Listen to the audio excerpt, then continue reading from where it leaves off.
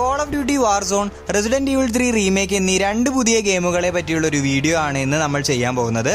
Game of വീഡിയോയുടെ ഇന്നത്തെ എപ്പിസോഡിൽ ബാറ്റിൽ റോയൽ ഗെയിമായ വാർ സോണിന്റെയും റെസിഡന്റ് ഈവിൾ ത്രീ റീമേക്കിന്റെയും ഗെയിം പ്ലേ ഫീച്ചേഴ്സിനെയും മറ്റു വിവരങ്ങളെയും പറ്റി നമുക്ക് നോക്കാം. So gamers without wasting any time let's get started March പത്താം തീയതി റിലീസായ call of ഡ്യൂട്ടിയുടെ free to play battle royale video ഗെയിമാണ് Call of Duty Warzone Xbox one PlayStation four P C എന്നീ പ്ലാറ്റ്ഫോമുകളിൽ നിലവിലിറങ്ങിയിട്ടുള്ള വാർസോൺ ഇൻഫിനിറ്റി വാർഡും റേവൻ സോഫ്റ്റ്വെയറും ചേർന്നാണ് ഡെവലപ്പ് ചെയ്തിരിക്കുന്നത്.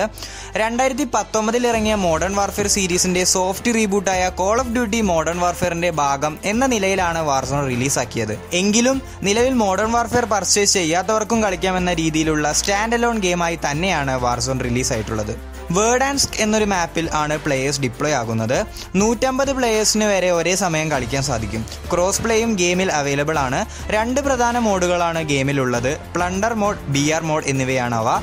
വാർസോണിന്റെ ഇൻ ഗെയിം കറൻസി മെക്കാനിസം ഉപയോഗിച്ചുകൊണ്ടുള്ള മോഡാണ് പ്ലണ്ടർ ഇൻ ഗെയിം കറൻസിയായ ക്യാഷ് കൂടുതൽ കളക്ട് ചെയ്യുക എന്നതാണ് ഈ ഗെയിം മോഡിന്റെ ലക്ഷ്യം. മാപ്പിൽ ഇറങ്ങി നിശ്ചിത സമയം കൊണ്ട് ഒരു മില്യൺ ഡോളർ അക്യുമുലേറ്റ് ചെയ്യുക എന്നതാണ് ഈ മോഡിന്റെ ലക്ഷ്യം. സമയം അവസാനിക്കുമ്പോൾ ഏറ്റവും കൂടുതൽ ക്യാഷ് കളക്ട് ചെയ്തിട്ടുള്ള ടീം വിജയിക്കും. മറ്റു പല ബാറ്റിൽ റോയൽ ഗെയിമുകളിലും ഉള്ളതുപോലെ തന്നെയാണ് ബി ആർ മോഡ് ചെറുതായി കൊണ്ടിരിക്കുന്ന ഒരു മാപ്പിൽ അവസാനം വരെ സർവൈവ് ചെയ്യുക എന്നതാണ് ലക്ഷ്യം. മൂന്ന് പേരടങ്ങുന്ന ഒരു സ്ക്വാഡായിട്ടാണ് കളിക്കേണ്ടത്. ഗെയിം മുന്നോട്ട് പോകും തോറും ഒരു പോയിസണസ് ഗ്യാസിന്റെ റിങ് മാപ്പ് ചെറുതാക്കിക്കൊണ്ടേയിരിക്കും. ഗെയിം പ്ലേ മെക്കാനിസം ഒക്കെ കോൾ ഓഫ് ഡ്യൂട്ടി മോഡേൺ വാർഫെയറിന് തുല്യമാണ്. മോഡേൺ വാർഫെയറിനോട് ചേർന്ന് നിൽക്കുന്ന വെപ്പണുകളും ഗൺ പ്ലേ മെക്കാനിസം ഒക്കെ തന്നെയാണ് വാർസോണിലുള്ളതും ബാറ്റിൽ റോയൽ മോഡിലും ഇൻ ഗെയിം കറൻസിയായ ക്യാഷ് കളക്ട് ചെയ്യാൻ സാധിക്കും. മാപ്പിൽ പലയിടങ്ങളിലായി ക്രേറ്റുകളിലും അതേപോലെ തന്നെ പ്ലേയേഴ്സിനെ കൊല്ലുമ്പോഴും ക്യാഷ് ലഭിക്കും. ഇതുകൂടാതെ മാപ്പിൽ സൈഡായിട്ട് ലഭിക്കുന്ന കോൺട്രാക്റ്റുകൾ കംപ്ലീറ്റ് ആകുമ്പോഴും ക്യാഷ് കിട്ടും. ഈ ക്യാഷ് ഉപയോഗിച്ച് മാപ്പിൽ ചിലയിടത്തുള്ള ബൈൻ സ്റ്റേഷനുകളിൽ നിന്ന് ഗ്യാസ് മാസ്കുകൾ യു ഡ്രോണുകൾ ആർമർ പ്ലേറ്റിംഗ് തുടങ്ങിയവ വാങ്ങി പ്ലെയറിന്റെ അഡ്വാന്റേജ് കൂട്ടാവുന്നതാണ്. ഇനി വാർസോണിന്റെ മറ്റൊരു പ്രത്യേകത എന്ന് പറഞ്ഞാൽ മാപ്പിൽ ഒരു തവണ മരിച്ചു കഴിഞ്ഞാൽ ഗെയിം അവസാനിക്കില്ല. ഗുലാഗ് എന്ന് പറയുന്ന ഒരു ചെറിയ ഏരിയയിലേക്ക് മരിച്ച പ്ലേയേഴ്സിനെ ട്രാൻസ്പോർട്ട് ചെയ്യും. അവിടെ വെച്ച് വീണ്ടും ഒരു വൺ വേഴ്സസ് വൺ കോമ്പാറ്റിൽ ജയിച്ചാൽ മാപ്പിലേക്ക് തന്നെ പ്രവേശിക്കാം. ഇത് നല്ലൊരു ഓപ്ഷനായി തോന്നി. അതുകൂടാതെ റീസ്പോൺ ടോക്കണുകൾ വാങ്ങി കയ്യിൽ വെച്ച് റീസ്പോൺ ചെയ്യാനും സാധിക്കും. സ്കൂളുകളൊക്കെ അടച്ച സ്ഥിതിക്ക് ഫ്രണ്ട്സൊക്കെ ആയി എൻജോയ് ചെയ്ത് കളിക്കാവുന്ന ഒരു ഗെയിം തന്നെയാണ് വാർസോൺ എന്നാലും ഫ്രീ ടു പ്ലേ ആണെങ്കിൽ പോലും നൂറ് ജി ബിയുടെ അടുത്താണ് ഗെയിമിന്റെ സൈസ് എന്ന് നമ്മൾ ഓർക്കണം. പേഴ്സണലി ഗെയിം ഞാൻ ട്രൈ ചെയ്ത് നോക്കിയിട്ടില്ല. കളിച്ചവർ എന്തായാലും നിങ്ങളുടെ അഭിപ്രായങ്ങൾ കമന്റ് സെക്ഷനിൽ അറിയിക്കുക. വാർസോണിന് ആവശ്യമായ മിനിമം സ്പെക്സും ഞാൻ ഡിസ്ക്രിപ്ഷനിൽ കൊടുക്കാം. അടുത്തത് നമുക്ക് റെസിഡന്റ് ഈവിൾ ത്രീ റീമേക്കിനെ പറ്റിയുള്ള വിവരങ്ങളിലേക്ക് കടക്കാം.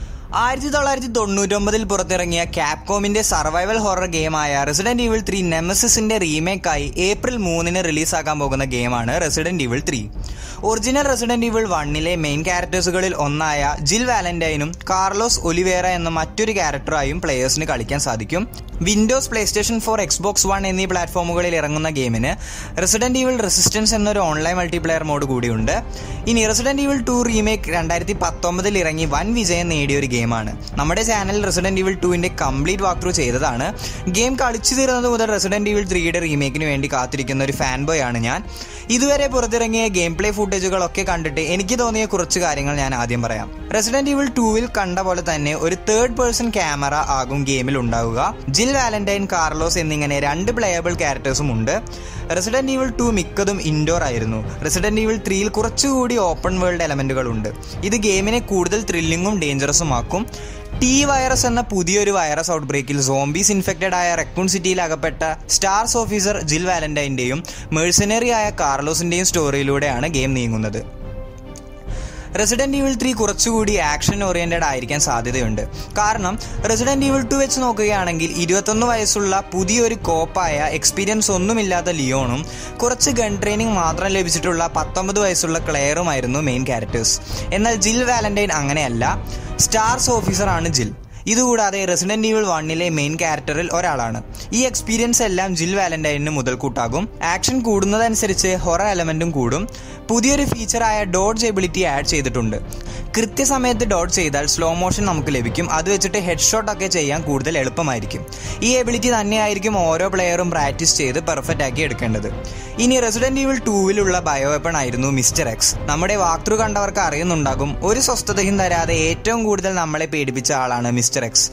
Resident Evil ത്രീയിലുള്ള ബയോവെപ്പണാണ് നെമസിസ് മിസ്റ്റർ എക്സിനെ പോലെ തന്നെ നെമസിസും നമ്മളെ ഫോളോ ചെയ്ത് കൊല്ലാൻ ശ്രമിച്ചുകൊണ്ടേയിരിക്കും. പക്ഷേ ഇവിടെ ഒരു വ്യത്യാസമുണ്ട്.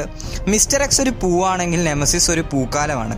മിസ്റ്റർ എക്സ് ഒരു ഓട്ടോമാറ്റിക് റൈഫിലാണെങ്കിൽ നെമസിസ് ഒരു ആറ്റം ബോംബാണ് ചുരുക്കം പറഞ്ഞാൽ നെമസിസിന്റെ മുമ്പിൽ മിസ്റ്റർ എക്സ് ഒന്നുമല്ല എന്ന് സാരം.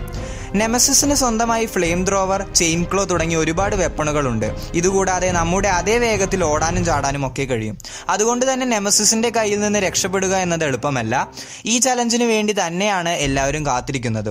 നെമസിസ് കൂടാതെ എട്ടുകാലുകളോട് സാമ്യമുള്ള ഡ്രെയിൻ ഡീമൺസും നമ്മളെ വിഴുങ്ങാൻ ശ്രമിക്കുന്ന ഹൺഡ്ര ഗാമ എന്ന മോൺസ്റ്ററിനെയും ഗെയിം പ്ലേയിൽ കാണാം.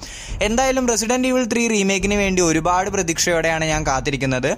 ഗെയിം പ്രീ ഓർഡറിന് സ്റ്റീമിൽ അവൈലബിൾ ആണ്. റെസിഡന്റ് ഈവിൾ ത്രീക്ക് ആവശ്യമായ മിനിമം സ്പെക്സും ഞാൻ ഡിസ്ക്രിപ്ഷനിൽ കൊടുക്കാം. ഈ രണ്ട് ഗെയിമുകളെ പറ്റിയുള്ള ബേസിക് ഇൻഫോ നിങ്ങൾക്ക് മനസ്സിലായി എന്ന് വിശ്വസിക്കുന്നു. റെസിഡന്റ് ഇവിൾ ടുവിന്റെ വാക്ക് ത്രൂ ചെയ്ത് അവസാനിപ്പിച്ച സ്ഥിതിക്ക് ഇനി റെസിഡന്റ് ഇവിൾ ടുവിന്റെ സ്റ്റോറി വീഡിയോ ആയിരിക്കും നമ്മൾ ചെയ്യാൻ പോകുന്നത്.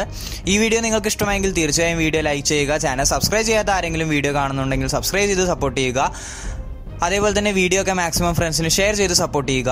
ഇനി അടുത്ത ആഴ്ച റെസിഡന്റ് ഇവിൾ ടുവിന്റെ സ്റ്റോറി വീഡിയോയുമായി വീണ്ടും വരുന്നത് വരെ it's me gamer Malayali signing off till then take care friends and bye bye